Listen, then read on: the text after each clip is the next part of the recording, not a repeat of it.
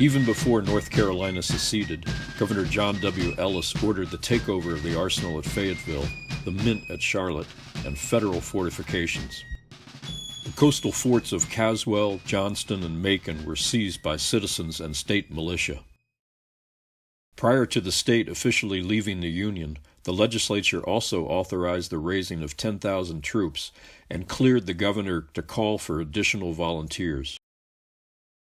Training camps were established throughout North Carolina, and the production from the Fayetteville arsenal was supplemented with a facility in Salisbury and a number of private companies around the state.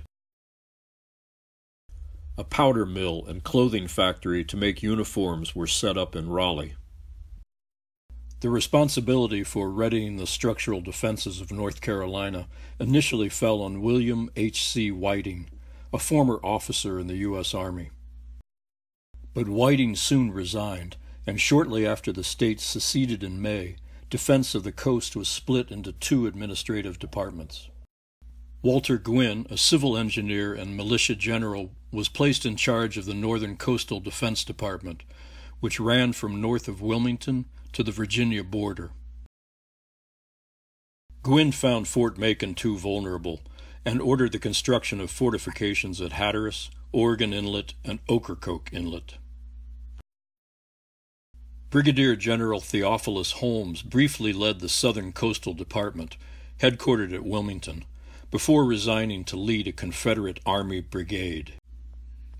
After Kinston native Richard Gatlin took charge, he continued the construction of batteries and forts around Wilmington.